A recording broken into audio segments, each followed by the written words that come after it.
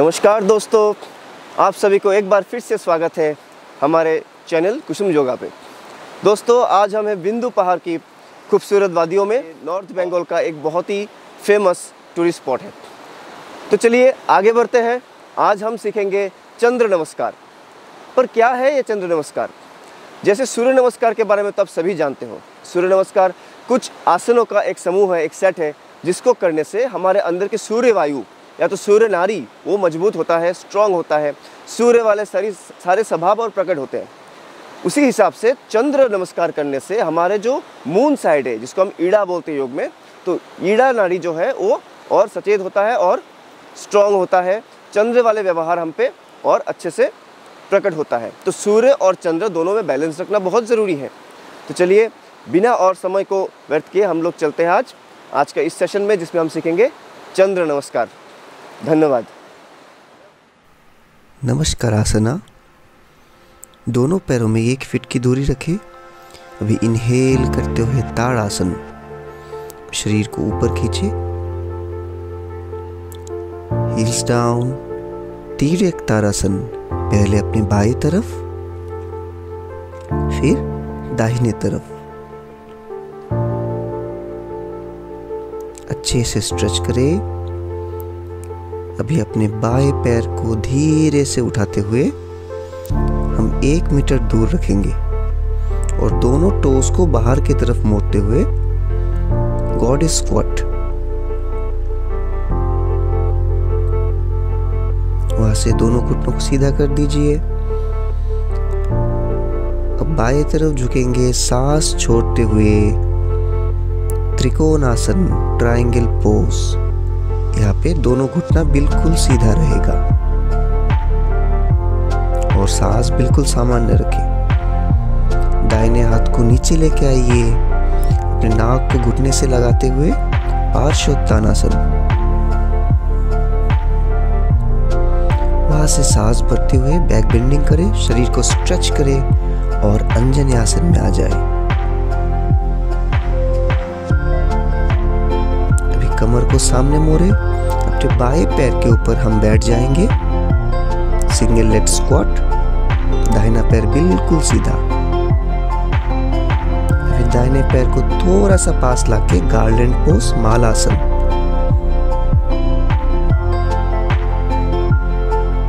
धीरे से body weight को दाहिने पैर में शिफ्ट करें, बाया पैर बिल्कुल सीधा। वहाँ से हम सांस भरते हुए वापस ऊपर की तरफ़ अपने आप को स्ट्रेच करेंगे, दाहिने तरफ़ अंजन आसना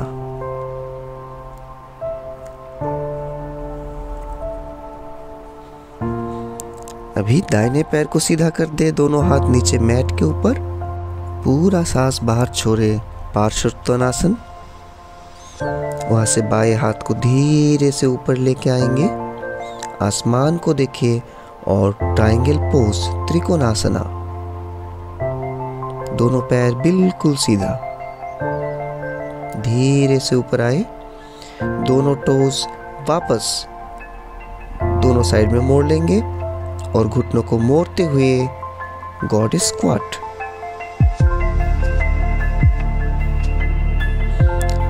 अपने दाहिने पैर को थोड़ा सा बेंड करके से पास लेके आइए। वापस करेंगे तीर्यक तारासन। पहले बाएँ तरफ़ अच्छे से स्ट्रेच करें। फिर दाहिने तरफ़। और फिर ऊपर की तरफ़। तो ये हमने चंद्र नमस्कार का आधा सीक्वेंस पूरा किया है। आप देख सकते हो हम अपने अपने मैट के दाहिने साइड से बाएँ साइड में आ गए हैं। अभी हमें वापस करना है, जिसमें कि हम बाएँ से दाहिने की तरफ़ जाएँगे।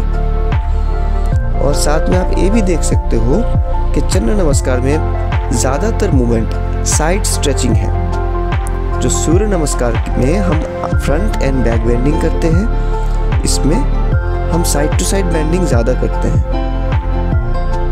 तो मेरे साथ साथ करते रहिए। तारासन और तीरक तारासन हो गया है। अभी हम दाहिने पैर को उठा के दाहिने तरफ़ एक मीटर दूर रखेंगे और दोनों टोस को, दोनों पंजों को बाहर की तरफ़ घुमा लेंगे। गॉड स्क्वाट सांस सामान्य। धीरे से उठ के अपने दाहिने तरफ़ झुकते हुए, सांस छोड़ते हुए त्रिकोणासन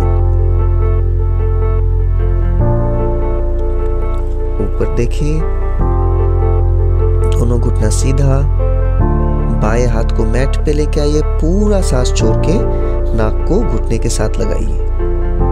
पार्श्वोत्तानासन सांस भरते हुए बैक बेंडिंग।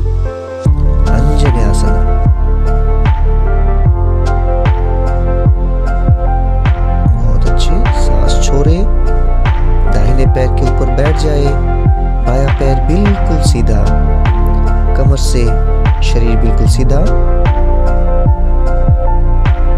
बाएँ पैर को थोड़ा सा पास लाके माल आसन गार्डन पोज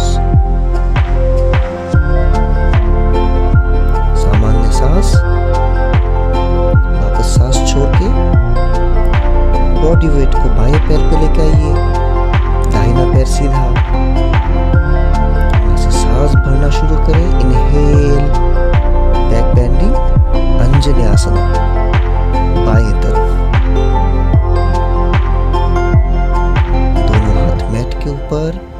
बाया पैर भी सीधा। सांस छोड़ के रखे, धीरे से अपना दाहिने हाथ को ऊपर ले जाइए त्रिकोणासन के लिए। दोनों पैरों को सीधा रखे।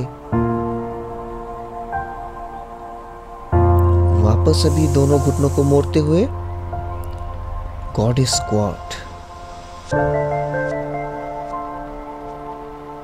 हाथ जोड़ ले और हम बाया पैर को मोड़ के लेके आएँगे दाहिने पैर के पास।